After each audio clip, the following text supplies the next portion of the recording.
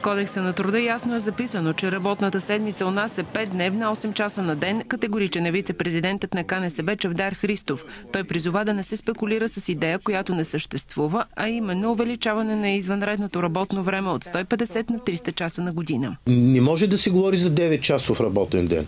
Напротив, е, обективно света подава информация, че започва да е, върват процеси на намаляване на работната седмица и на работното време през съответните дни. Кодексът на труда обаче е писан преди повече от 30 години, подчерта експертът в Българската стопанска камера Жасмина Сара Иванова. Затова от камерата настояват за промяна в текстовете, така че да бъдат адекватни. Те искат отпадане на забраната за полагане на извънреден труд.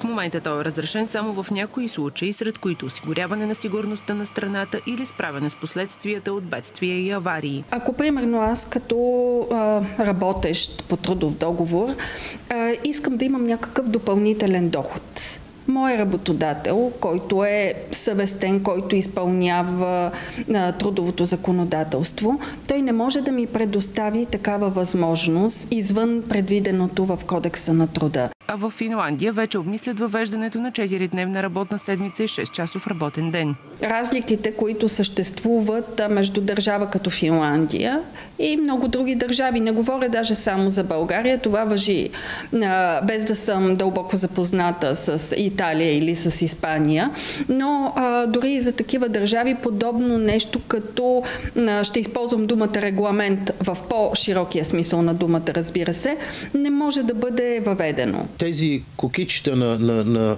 намалението на работното време се появяват в резултат на обективно създадена ситуация. И хората, и работодателите, т.е. и собствениците, виждат, че това намаление обективно се налага. Вице-президентът на КНСБ е категоричен, че е по-добре да се работи по-малко, но пълноценно и максимално натоварено, отколкото повече, но некачествено. Жасмина Сара Иванова смята, че за реализирането на тази идея няма пречки дори и в момента, стига двете страни, работник и работодател, да се договорят.